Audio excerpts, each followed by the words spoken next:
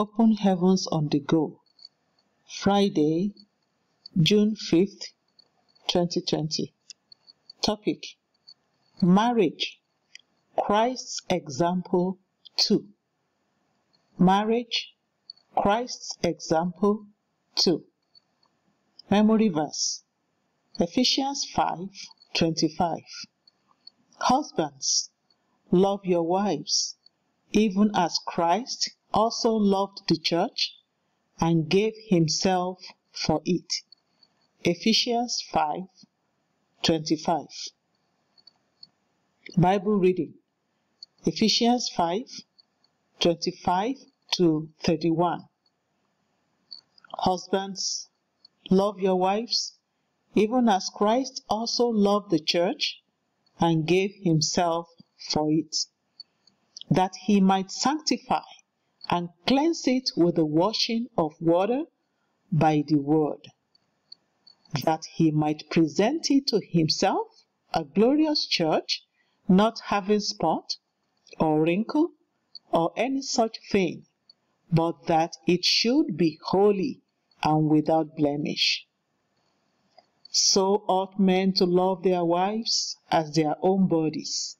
He that loveth his wife loveth himself.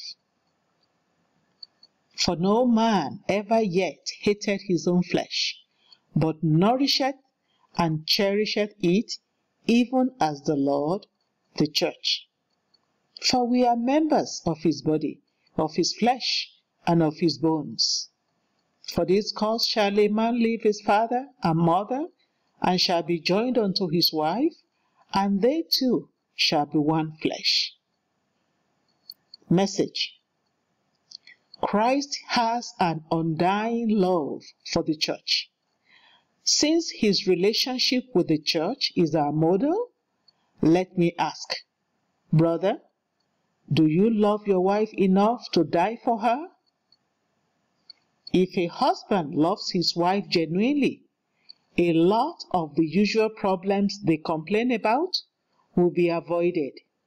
As a man, you should not buy new shirts for yourself and forget to get for your wife. That may just show how little you love her. 2 Corinthians 8 9 says, Jesus became poor so that we can be rich. She should be your priority, looking better and more radiant than you. This is one thing I admire about men from the Igbo ethnic group of Nigeria. They take very good care of their wives. While the man may don just singlets and shirts, his wife will be arrayed in the latest fashion. Some men find it difficult to spend time with their wives. If you really love someone, you should spend time with the person. Jesus said, if you call him at any time, he would answer. That is in Jeremiah 33 3. That is how you should be with your wife. Anytime she needs you, you should be there. You are the priest of the home, just as Jesus is church is the church's high priest. When you express your love for your wife, she will cook better meals for you and look more radiant, more beautiful for you. He that loveth his wife loveth himself. That is what Ephesians 5:28 says. From the experience of Job, we see that a man's wife is his life. God told Satan that he could touch all that Job had except his life. Satan killed Job's children, destroyed all his property, inflicted his flesh with sicknesses and diseases, but did not touch his wife. She was unscathed because God had said, Don't touch Job's life.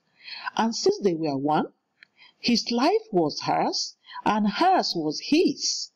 Whatever you do to your wife, you are actually doing to yourself. Whatever you do to your wife, you are actually doing to yourself. She should be loved, protected, nourished, and cherished greatly because your life depends on it.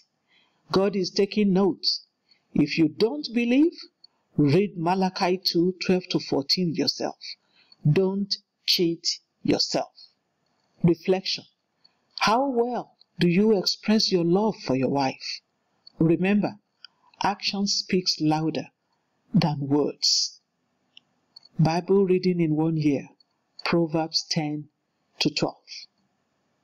Hymn for today God give us Christian homes.